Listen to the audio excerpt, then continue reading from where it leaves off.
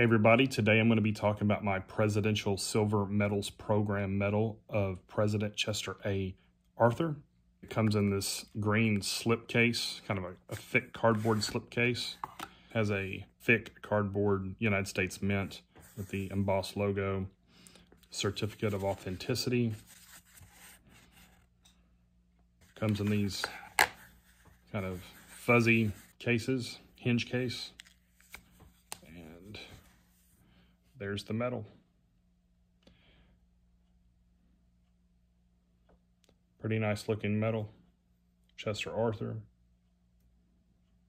See what it looks like on the back. So it says President of the United States, inaugurated September 20th, 1881. Again, that's the front. You can buy these through the United States Mint. I have this on a subscription program. These medals release once a quarter, so you get four presidents a year.